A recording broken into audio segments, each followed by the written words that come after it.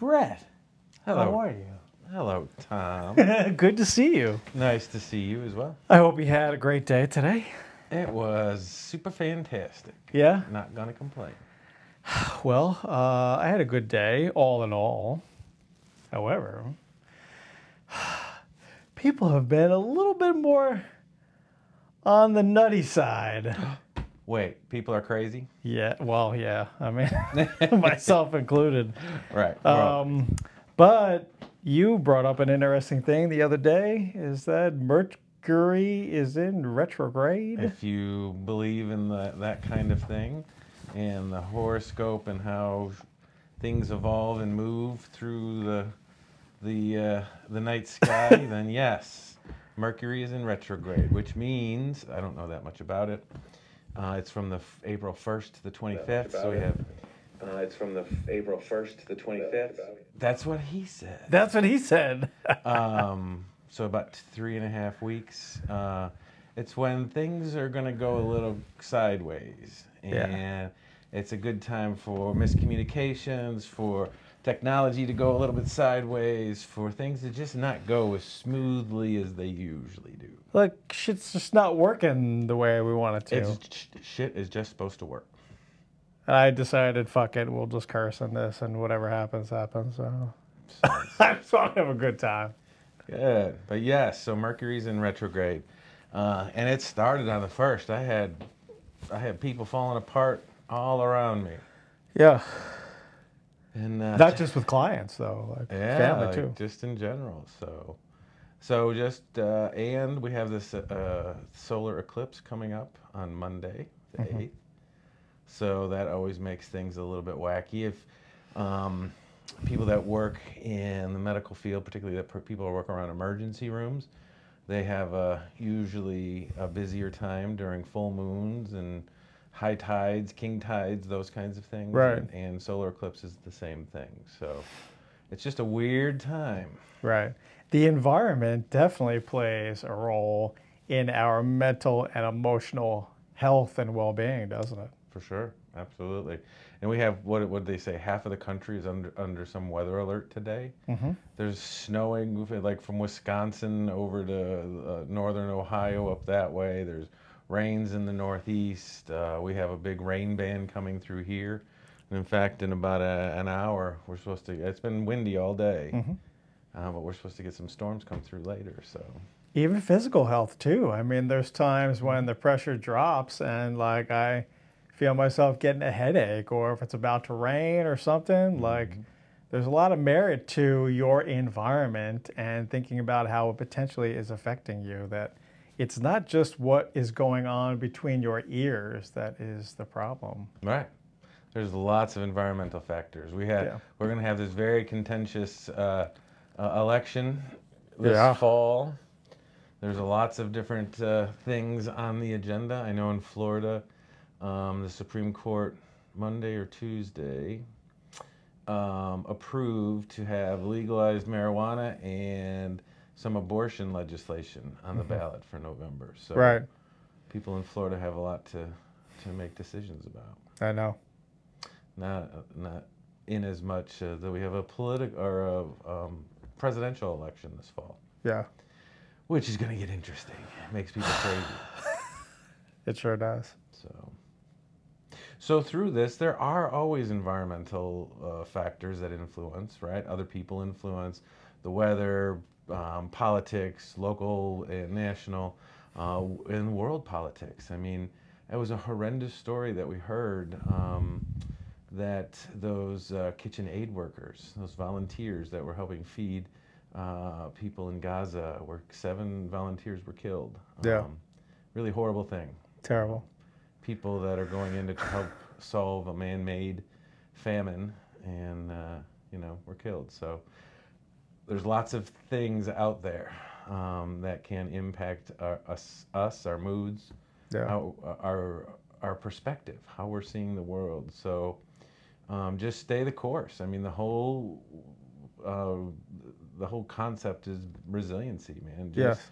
what do you got to do to hold yourself together to weather the storm That's why I labeled this uh, session for today resilience. And I talk a lot about this in session with people building resilience, maintaining your resilience, which is, uh, I mean, in essence, simply put, your ability to bounce back after an adversity, whether it's an adversity that happened to you or dealing with a challenging situation or just seeing like these horrendous, um, traumatic things happening in our society or in our world and being able to, you know, kind of effectively deal with that and still be able to perform, still be mm-hmm. able to carry out your daily schedule, your plan of the day, your workload, manage your family, manage your own level of stress.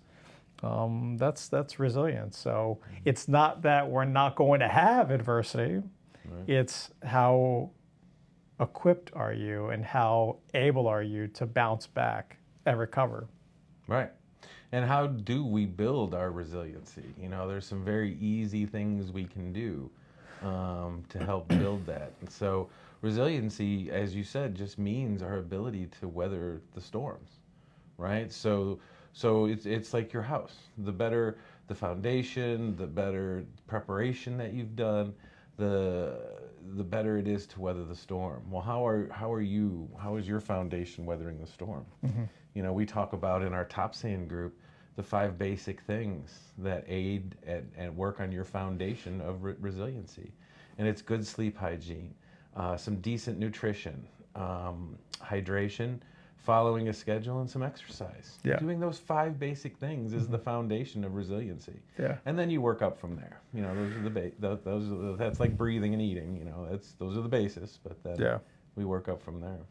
Something that can help you build resilience, resiliency is finding a way, even if it's just in a small amount or a small dose of a way to challenge yourself. So, um, we are creatures of comfort. We engage in things that provide us a sense of comfort and safety. We do the same things over and over again. We go to the same uh, supermarkets, we go to the same gas stations, we go to the same lanes, we go to sleep at the same time. You know, like we do all these things uh, as creatures of comfort. And it's not in the comfort that changes us, it's in the challenges that we face, even if it's crafted by our own hand if we can create a challenging situation then and have the ability to work through it to adapt then it fosters resilience. So if you're not challenging yourself right now even in a small degree mm-hmm. then you're not going to have a substantial amount of resiliency when something outside of you challenges you. Right. You know it's something as basic as you know you have that friend and you go out to eat with your friend and you go to your favorite restaurant and your friend orders the same dang thing every single time. Yeah. You've never seen them not order the same thing. Well, what would happen if that thing came off the menu or they were out of those ingredients for the day? What? No chicken parmesan? What? what do I do now? Yeah. And it would cause great discomfort. You know, so uh, I love going to the restaurant, same restaurant, and ordering different things. I want to try everything on the menu and you know some things are not my favorite but every meal is not my last it's yeah, yeah, just right. one meal yeah so um, you know to get to your point about challenge yourself you got to get out of your comfort zone um, knowledge does not come from success generally it comes from failure so don't be afraid to fail don't be afraid to fail it's still a win even if you fail right Oh, that shrimp macaroon, man! I tried that off the menu and it was a failure. It was a failure, heavy failure. I won't order that again. Yeah. The uh, sushi that you got from uh, the gas station. Right. No, no bueno. no, no, bueno. No. When I was in the Marine Corps, we had this um, uh, this saying. Uh, well, it wasn't really saying, but it was it was like this idea of having intestinal fortitude. Mm-hmm. And really, I mean, there's different ways to say that. That was just the language we used. But it was like that gut check. It was the mental toughness. It was resilience. It was courage under fire. Mm-hmm. Being able to, you know, when everybody else seems to cower and run the other direction the intestinal fortitude forces you to to power through and to overcome, you know, right. and of course, I mean, even in like this is no surprise, I'm sure to a lot of you, the military. There's a lot of like brainwashing going on. I mean, there has to be, you know, Right. Be, be, because you you can't throw young men and women, 18, 19 years old, into heavy fire where they could potentially lose their life um, without a degree of, you know, Right.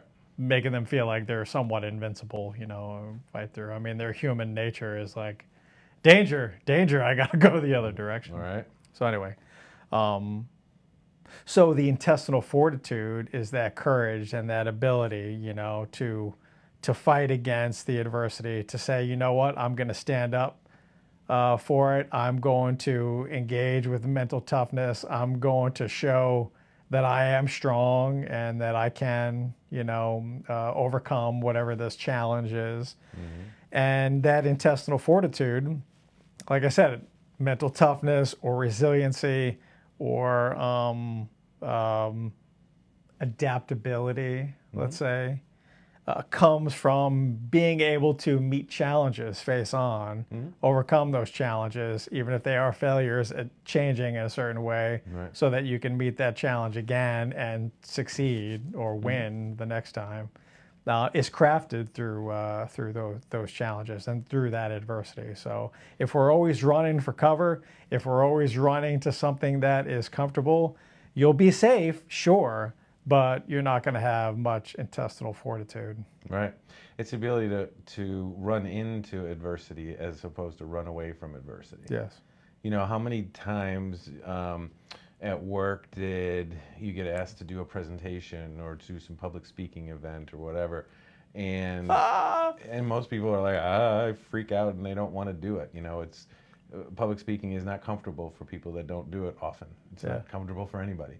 Um, but you just prepare, you put it together, you practice it, and you deliver. And when you're done, and the three two minutes before it starts are the worst two minutes yeah, I know, I know. because your stomach's going and Yep. it's like oh and you're trying to rehearse and you're trying not to think about it and you're trying not to sweat and you're trying to okay we'll hold it together i'm gonna Yeah. i'm doing all right and then you deliver and it's fine and It's great. and you know you kind of even blank out during it you don't even think about the people out there anymore you're just worried about delivering the information It's like time travel, right? Yeah. Mm-hmm. You've rehearsed it enough times. You've written what you're going to say.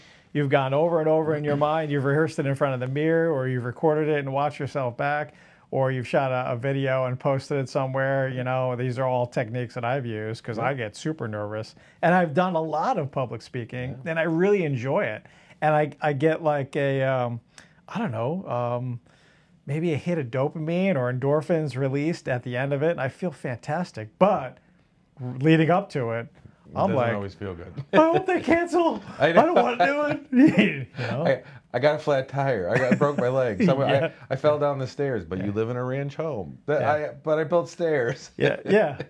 I'll be I'll be like like deep in thought, and my wife's like, "You you okay? You know, you you doing all right? You, what's on your mind?" I'm like, "I'm thinking about this presentation coming up," and she's like, "Isn't that next month?" Like, Right. Yeah. Yeah. Thinking I got to it. now. prepare for it. Yeah. I know. I've had a few of those moments. Uh-huh. I took a job and I moved my family, you know, far away. Uh, gave up everything. Took this job that was uh, on the brink to begin with, and uh, this co- this company was going into receivership, and I had to, they're like, try to bail it out, see what happens. Mm-hmm. Um, I get there, and they say, oh yeah, you have to MC a, s- um, a fundraising event with a thousand people in, in two months. And I went, what? Excuse me? You could have told me this during the interview. Oh God. a thousand people. Yeah, I was oh, shit. 32 years old.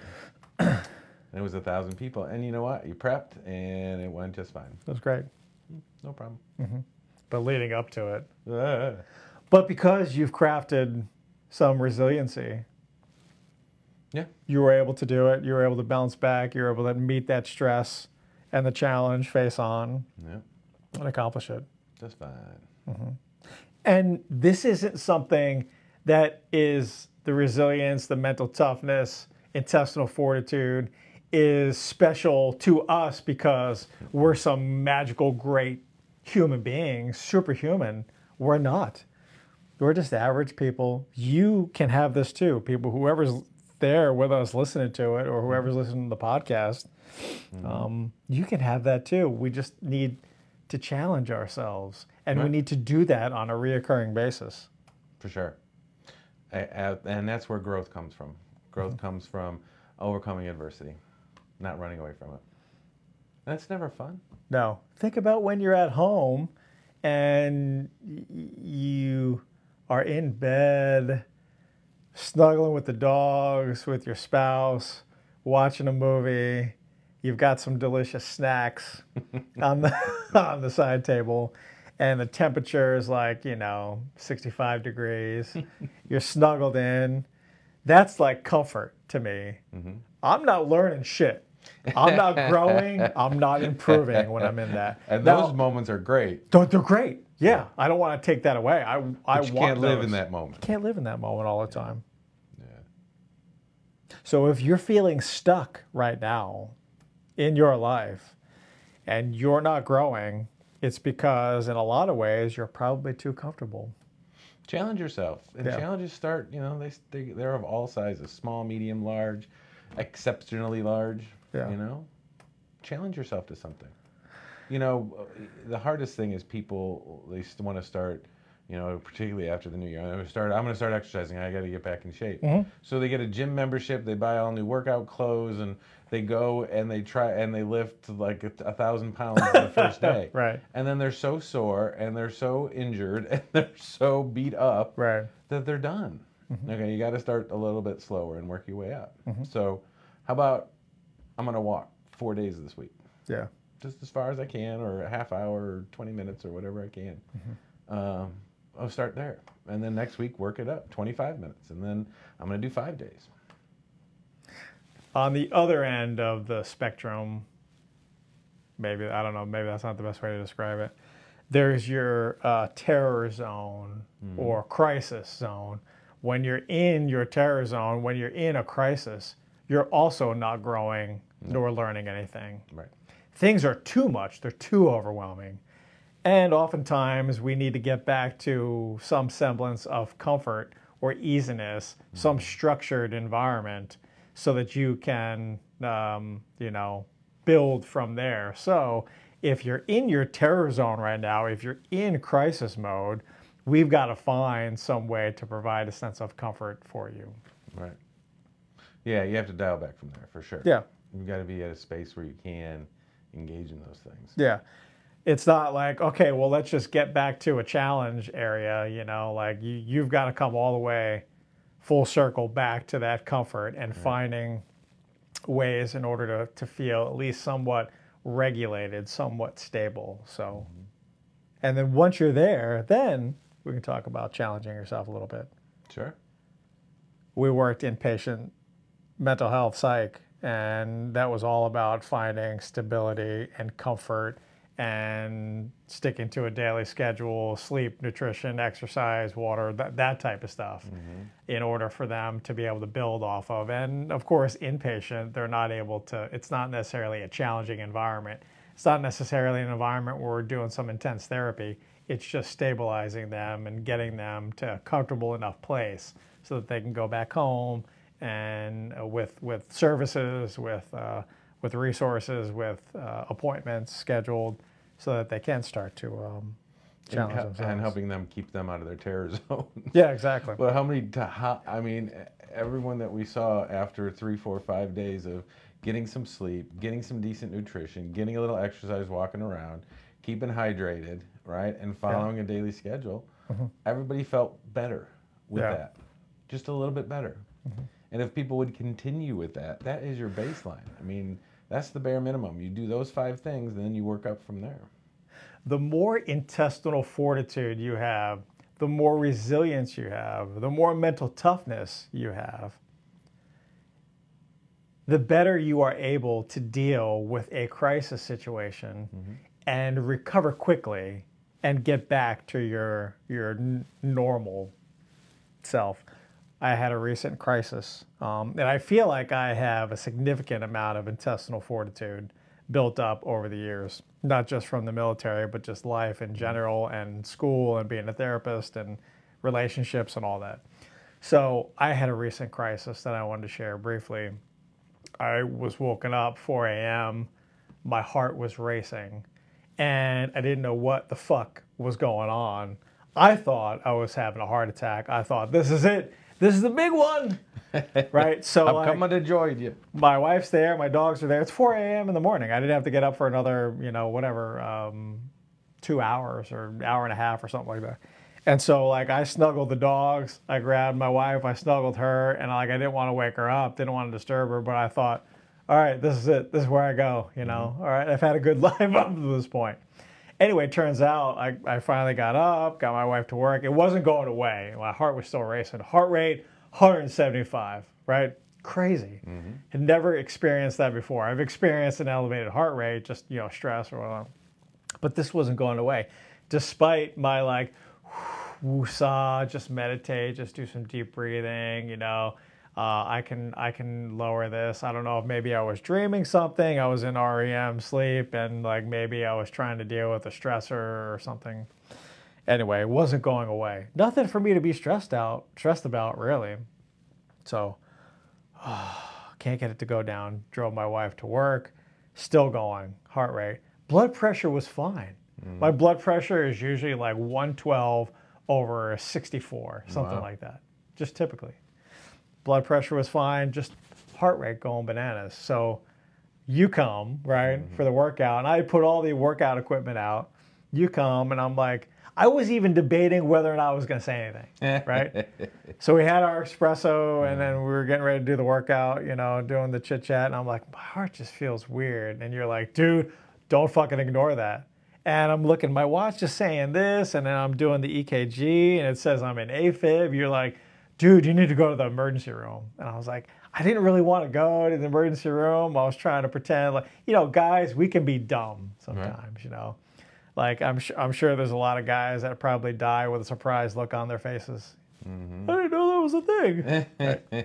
So anyway, so I'm like, all right, I'm trying to uh, not go to the ER, but I'm like, I got a full day of clients. You know, I don't want to have to cancel clients. All right, and make a long story short, um, finally um, get to work, and I realize that this isn't going away. I'm going to have to go to the ER. So I was in the AFib, and we have no idea why. Chest X-ray, perfectly fine. Echo, perfectly fine. They don't know why this was happening. They related it to maybe there's some sleep apnea going on. I haven't been sleeping as much as I needed to.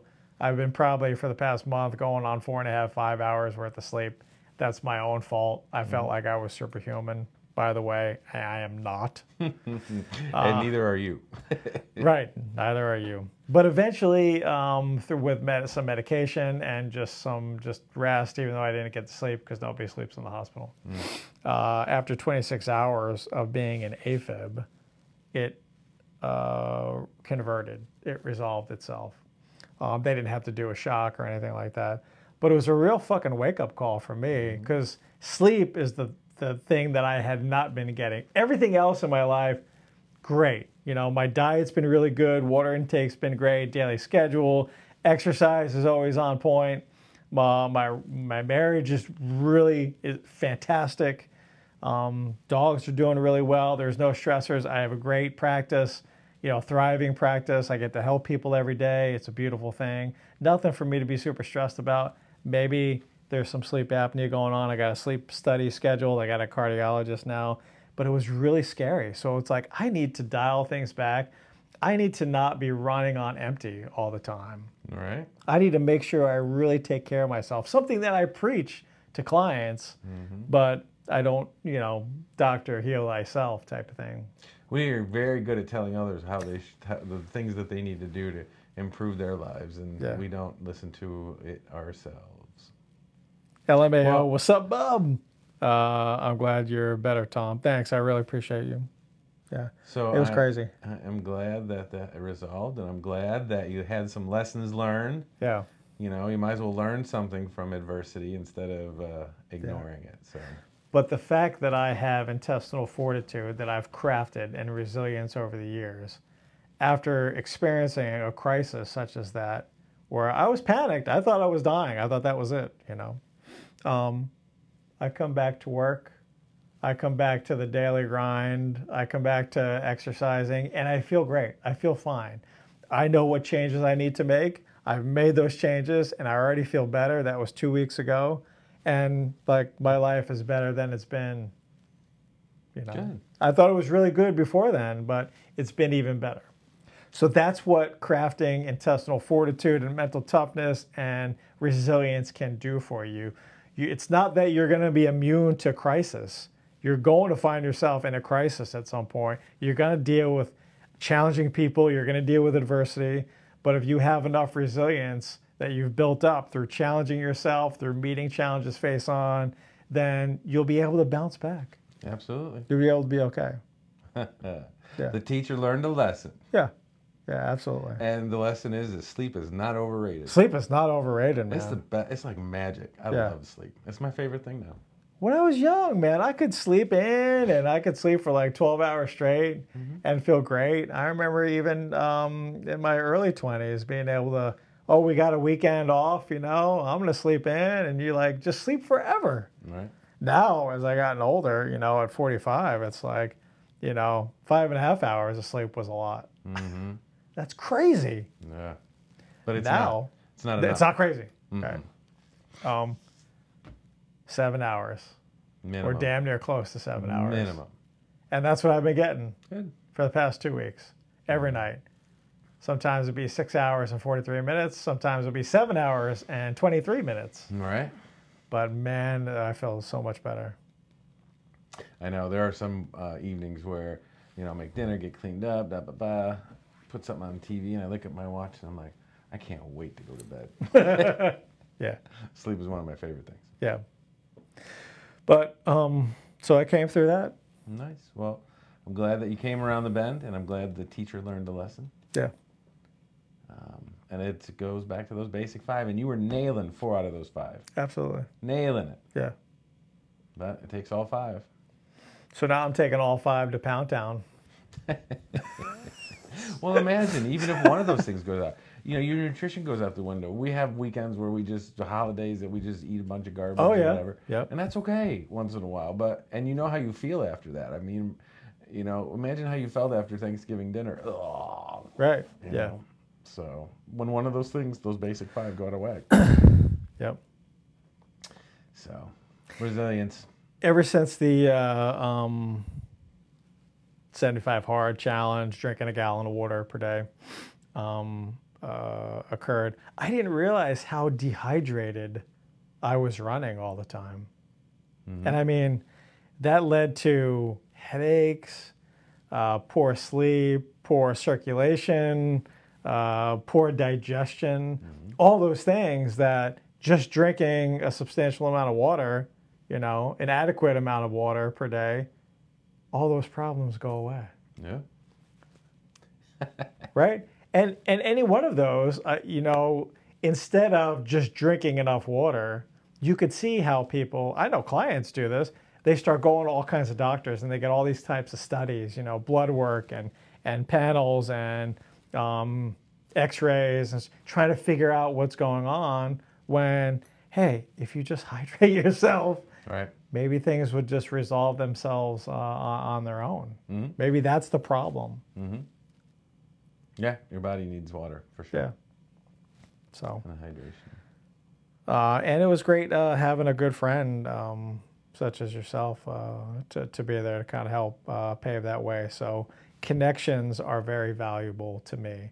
I mean, I value connections with other people, our connection, the connection I have with my wife and my family, and the connection I have with clients so much more than any amount of money. Right. Because if you think about having a shit ton of money and then being by yourself, like, what's the point? Right. So I, I, I value uh, the connections and I value maintaining those connections with other people. So Mhm. I would, uh, I would highly encourage you guys, whoever's listening uh, uh, to this, to really um, put forth some energy into the connections you have with others, Absolutely. the people that you love and then that you value. For sure. Anyway, so what do we have to look forward to this next coming week, I don't know. other than the the, the Taco eclipse? Tuesday? Yeah, yeah, uh, yeah. I don't, I don't think there's anything coming up that I was. Um, excited Easter's about. over. We got a big eclipse coming on Monday. yeah. All right. So stay steady through the storm. Put your head up and walk through adversity. Don't run from it. Challenge yourself. Challenge yourself. Yeah. And don't Thank you look guys Up, don't for- look up at the sky on Monday. Yeah, please, please don't do that. you have to have special goggles or something, right? Special glasses to do that, or you gotta. What what did you? What's the homemade version of the? Oh, I don't know. No. I think you could also use your phone and like record it and look the other way and just look at your phone. I think that's also doable. Okay. Good to know. Yeah. Remember they used to sell those those glasses? The eclipse glasses. Yeah. Yeah. I haven't seen those though. I haven't either. Oh. They'll Well- probably be in a in a happy meal. So. Tom, it's good to see you. Glad you're doing. You're on the mend and doing better. Thank you. Always a treat to have you, Brett. Thank you. All right. You take We'll see you guys soon. All right. Good. I think that was ample enough uh, space to have the uh, background noise where I could edit that uh, edit that later. So that was good. I enjoyed that. Yeah. I know we're still. Uh, I'll turn this off. Thank you guys for being here, and uh, we'll see you next week.